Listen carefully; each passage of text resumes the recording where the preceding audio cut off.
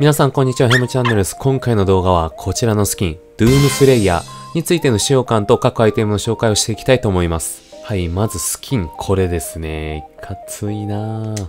そしてスタイルチェンジで、まずはこの白色のこれ、そしてゆくゆくはエンバーアーマー、フォボスアーマーと出てくるみたいです。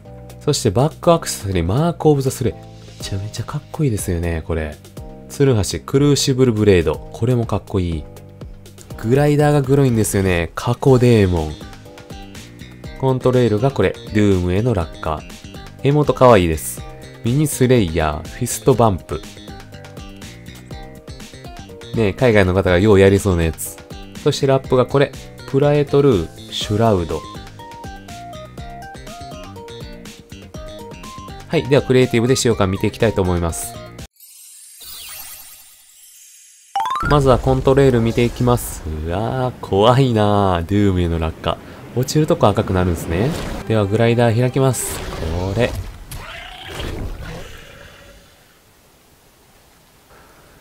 いかついっすね。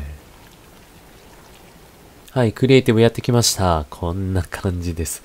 バックアクセサリーめちゃめちゃかっこいいですね、これ。はい、では、ダッシュ、スライディング、ジャンプ。では、気になるツルハシ振っていきましょう。これ。あ、やっぱこの振り方ですね。かっこいい。ポンプショットガン、これ。あれ？あ、なんか出てきてるスコープなんかな、これ。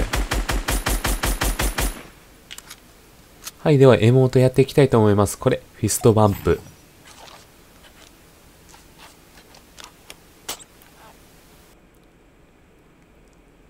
いいっすね。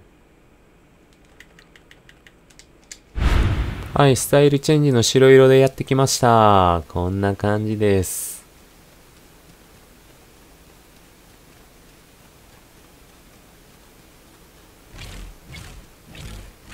こんなもんかな？説明は以上です。この動画参考になったという方はグッドボタン、チャンネル登録、概要欄にある Twitter、Instagram のフォロー、もしよければクリエイターサポート、HMCH をよろしくお願いします。